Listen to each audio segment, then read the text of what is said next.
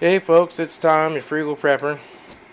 Um, I don't know if you can see that. It's just uh, there's some snow on the ground. My wood's all covered up with snow. It is freaking cold outside. It hit single digits last night. The wind has now started to die down a little bit, at least though. Um, but I kind of wanted to do a video and just talk a little bit about kerosene heat. Um, the uh, you know a lot of us have uh, kerosene heaters as kind of a backup heat source in case uh, the heat fails and a lot of people have considered that and they think that kerosene heaters smell bad and they're just not good to, to use for that kind of a thing. Um, and so I wanted to just, as somebody that uses kerosene heaters nearly every day throughout the winter, although I do have a wood stove and I use that sometimes too, but mostly that's on the weekends when I have more time to watch and maintain the fire. Um, kerosene heaters are, are nicer just because you can turn them on and they run for 12 hours, so you don't have to worry about them too much. Um, now, what I can tell you is that if you burn them right, they burn cleanly. Um, and right now, if you walked in my house, I've got two heaters running. I've got this smaller one that's 10,000 BTUs, and I have one of the round ones that's 23,000 BTUs in the other room. You walk in my house, you won't smell kerosene um, because they're burning correctly. Um, and that means getting them adjusted right and having the mixture right but it also means having a clean fresh wick installed and using the right kerosene and making sure that all of the dust and debris is cleared out of the air pathway. Now these actually pull air in the bottom down here which goes up this the center of this burner and that's where it gets the oxygen from. Um, after a season of heating these will start to get dog hair and stuff in the bottom because I have four dogs, but and dust or whatever will start to get down in under this. So you have to maintain your heaters. Um, and there's plenty of videos on YouTube on how to actually maintain them, so I'm not going to do a video on that. Although I just changed the wick in this one yesterday and the other one the day before. But if you are going to store one of these heaters, you need to go and pick up some of these, um, which are wicks and have some extras. Now, th this one here is for the big round heater that I have like this. These will tell you what models they work with. Although there's basically a couple of major styles of wicks, and one for these bigger heaters, and then there's the one that works with the smaller heaters, like the one I have here. Um, and these come in a few different styles. Now this is the one that works with the most different models and brands. Um, there are some of these that are a little shorter, okay, and they'll only work with some of those models.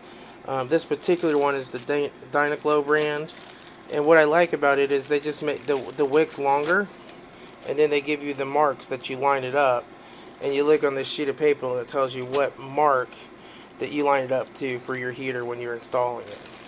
Now these bigger ones, you don't have to line them up. They have steel pins that go in so that they can only be at one height.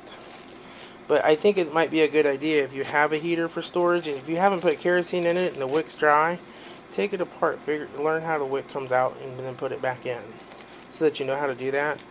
And then, you know, these are like 8 or 9 bucks for the small ones and these are like 10 bucks for the bigger ones, maybe 11.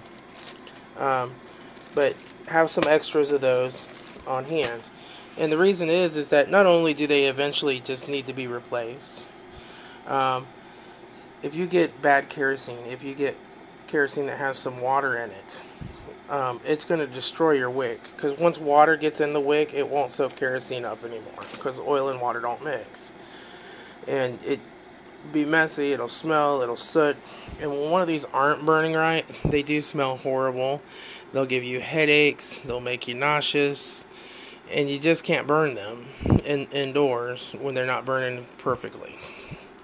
Um, when they do burn perfectly, they're like 99 point something percent efficient, and they are really clean burning. Um, the other thing is that all of these modern heaters with the modern wicks, these wicks are not just cotton, but they have fiberglass on the tips. So they're cotton up to a point, and at the very end, you, where the flame is, is just fiberglass. Um, and the and the reason for that is just that you know fiberglass doesn't burn like cotton does. Now it does still turn black eventually because it gets loaded up with carbon. And what you can do to extend the life of your wick is I do this about every couple of weeks because I run my heaters every day. Um, in fact, this heater probably hasn't been turned off in over a week. And um, basically, you can pull the fuel tank out and take that outside and fill it and put it back in without ever having to shut the heater down. The big one, you got to turn it, shut it down to fill it. And of course, what sucks about that is it does make a little bit of smell when you first turn it off and when you first turn it on until it gets heated up. But when they're running correctly, that's not even that bad. And they warm up and get the temperature faster and burn cleaner sooner when they have a good wick in them. Um, but what you do is you take this heater outside when it's about to run out of kerosene and you just let it sit outside and run until it's completely empty and it's burned completely out. It'll smoke, it'll stink. That's why you take it outside. But what that actually does is helps burn all of the carbon out of the fiberglass on the edge of the wick.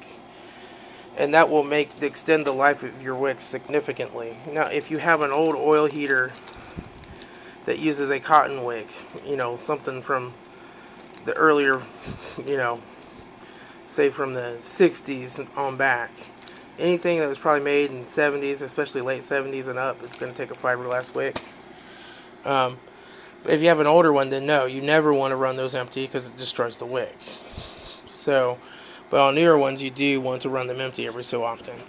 Um, the next thing is is that not all kerosene is made equal. Um, now, you basically have the older style kerosene, which was uh, K1 kerosene, which was 500 parts per million of sulfur, roughly about thereabouts. Um, and that's a lot of times what still comes in the little plastic jugs, and it works fine. Um, the newer style kerosene that you get from the pump is only 15 parts per million of sulfur, and that seems to work fine. Um, the problem that you have is when you go to a gas station to buy kerosene. Now, most gas stations, they'll, they'll even say on the pump, this is not a product of Marathon, this is not a product of Shell. Okay, that's because the owner of that gas station has put in his own pump and bought his own kerosene from someplace to sell it. So you might get really good kerosene at one Shell station and go to another one and get really bad kerosene. Um, I know in my town there's a marathon station near me that sells kerosene, and it is the worst kerosene in the world. I might as well try to burn diesel fuel in this thing. Um, after one, maybe maybe you'll get two, but usually after just burning one tank of that kerosene in my heaters, it's time to replace the wick, and it's loaded up with carbon and tar. The house stinks. It won't. It's hard to get it to light. It's just it's horrible. Um, so I have to stay away from that place. I don't know if their kerosene's old or if it's just crappy. Um, but I think there's probably different grades. I, I don't know. Um, I think a lot of times these places have really big underground tanks and they fill them up and then try to sell it over the span of five years, you know, and it gets old towards the end. Um, we have a, a, gas station chain around here called Swifty. They have okay kerosene, but um, I don't use them anymore because their pump is defective, and when you grab the handle and touch the ground, it shocks the crap out of you. About knocked me silly last time. I leaned over and put my hand on the steel pole and had the other hand on the pump touching the metal, and they still haven't fixed it a year and a half later. And the guy's like, "Oh, if you just wear gloves, you'll be all right." And I'm thinking, like, no, I'm not having a live electric kerosene pump handle sitting you know, pumping flammable liquid into a plastic wet container that's sitting on the ground. You know, the last thing I need here is a spark, fella. You know, um, now I've found that Speedway, which is another major gas station chain around me, there's their kerosene is a product of Speedway. It's it's the nice thing there is if I go to any Speedway, any Speedway I've gone to, has had the same quality and grade of kerosene. Their kerosene burns clean, it burns nice. It's probably my second choice. Now, there's a Shell station on the west end of town for me. Again, it's not a product of uh, Shell, but it's probably the best kerosene I've ever used. It's just, and even when you pour it, it just, you can tell it's just clean and really good, and it has hardly any smell to it whatsoever. Um, so my recommendation is before you store a lot of kerosene, if you're using this as a backup heat source, go buy a half a gallon of it, put it in your heater in the wintertime, shut your furnace off, and run it for a little while and see how it works in your heater.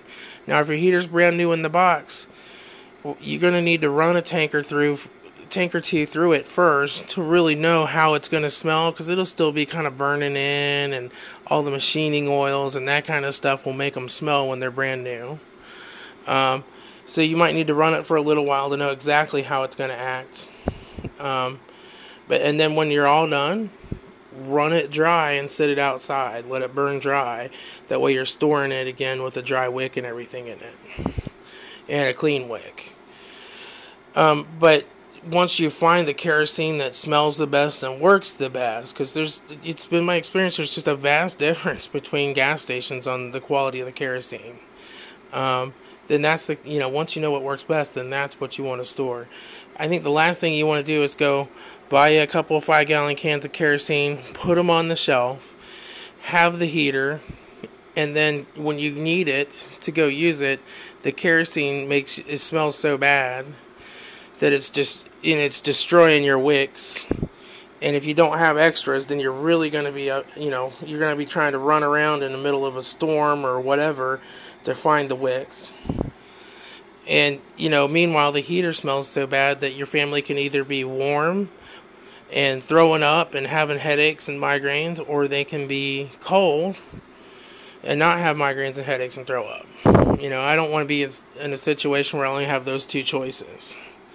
Um, so I just say this is a real option for a backup heat source. But if you get one and you use it and you're like, oh, that stinks, make sure you've run it for a while and try a different type of kerosene in it um, to make sure that it's not just the kerosene that you're having the trouble with. Um, also, don't pay full price for these things. I was looking, like on the the picture of this Dyna-Glo is the newer version of this. I don't think this one has the fan.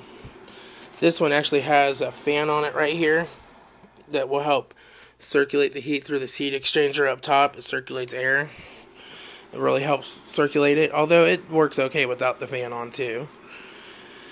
Um, but this is like the older version made in Japan, probably a late 90s, early 2000 model of this one here that's now made in China. Okay, these are okay too, though. I've seen some of these, they seem like they're made just about as well. Um, but, um, you know, here's what I paid for this one. Okay, wait till you go to go to garage sales in the middle of July and August. That's when you're gonna find the deals on these things. Okay, but selling new, this thing might cost you two hundred and twenty dollars. Okay, there's no reason to pay two hundred and twenty dollars for one of these, because even if it's dirty and it's been well used, you know, you just take this thing apart, you clean it up. There's other YouTube videos on how to do that, and it'll probably work like new.